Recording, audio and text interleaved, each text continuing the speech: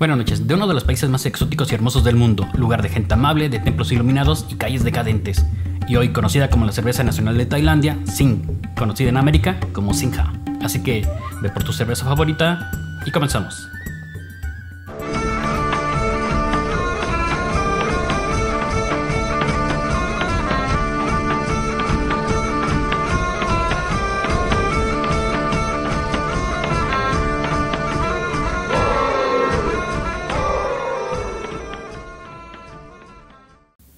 Fabricada en Bangkok, Tailandia, de la cervecería Sing Corporation, propiedad de Boom Road Brewery, así que veamos algo de su interesante historia.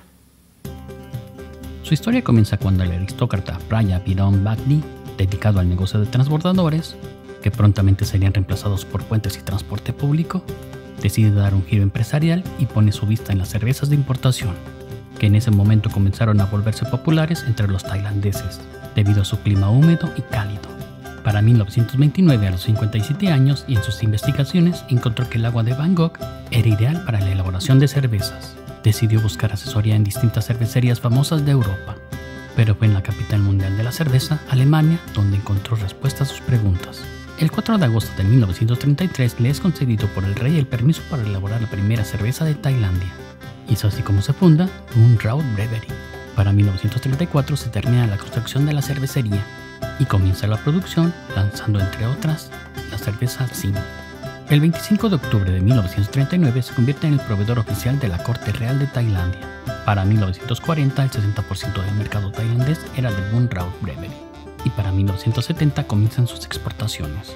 Desde 2010 se ha asociado con el deporte, desde la Fórmula 1 con el equipo Red Bull Racing, patrocinador personal de Kimi Raikkonen, MotoGP y sociedades con Manchester United y Chelsea. Sing en Tailandia es considerada la cerveza de los ricos, y no así su rival, la cual es considerada la cerveza de los pobres. Debemos destacar que Sing únicamente se elabora en Tailandia, sin subsidiarios en el extranjero para preservar su sabor. Sin lugar a dudas, una distante cerveza que no podemos dejar pasar.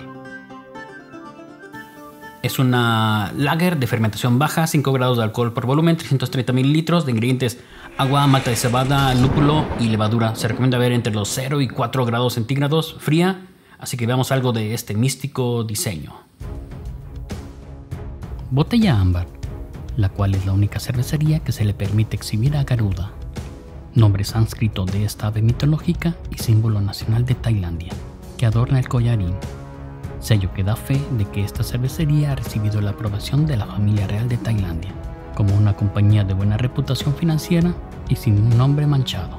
Y en la etiqueta central, un poderoso Sing, león mitológico presente en antiguas historias tailandesas. Simboliza poder, fuerza, prosperidad, protección y lealtad. Sin lugar a dudas, una mística etiqueta. Se recomienda beber en vaso Pilsner. En Tailandia por lo regular te sirven la cerveza en un vaso con hielo. Por obvias razones no lo haremos. Así que destapemos y sirvamos.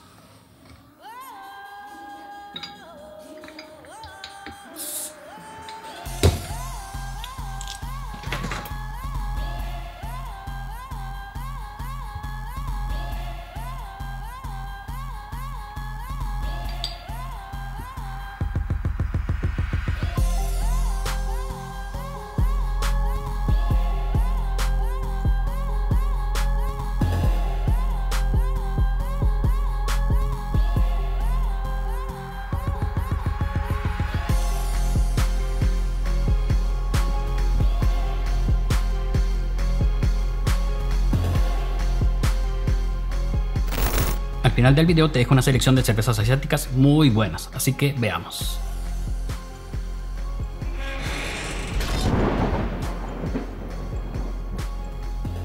Pues amarillo pálido, dorado, cristalina, espuma blanca, burbuja pequeña, compacta,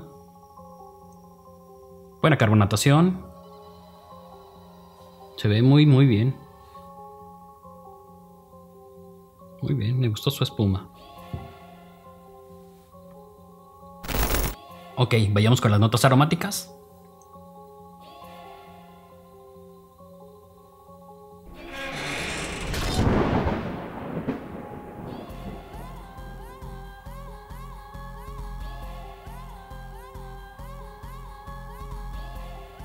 Muy agradable aroma. Mm es, es ligeramente maltosa. Mm, se percibe como a paja y granos. Dulce. Y tiene un ligero aroma como a té oriental. Predomina la malta, pero muy agradable aroma. Muy agradable. Ok, vayamos a lo bueno. Salud.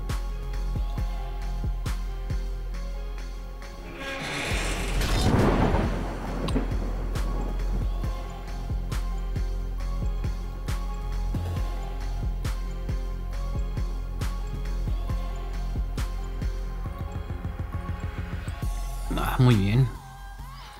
Mm, es muy ligera. Mm, sabor a malta. Ligero a lúpulo. Poco amargor. Muy picante. Tiene un toque a regalis. Mm, y definitivamente no sabe a, a lager europea ni, ni americana. Tiene su personalidad. Tiene un final corto y seco. También el final algo dulce, pero en general, en general muy bien, muy bien.